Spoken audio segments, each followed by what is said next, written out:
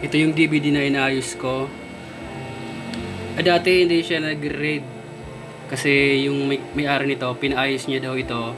Tapos pinapilatan niya siguro ng ano, spindle motor. Tapos hindi hindi nag-read, palaging error. Nung binuksan ko tong ano, itong may spindle motor na to, to yung kumakahan, binuksan ko parang ano, masyadong malaking tulad dahil yung spindle motor niya. Na dapat ito ay parang 3 volts lang na spindle motor. Samantalang yung ito yung pinalit, ito yung pinalit na bago.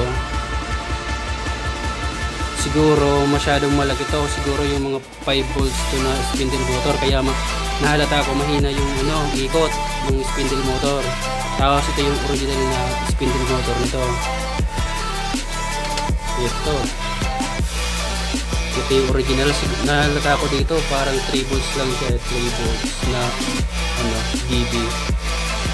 Kaya yung pinilitan ko ng bago yung pang 3 volts lang na spindle motor. Ngayon, gumagana siya.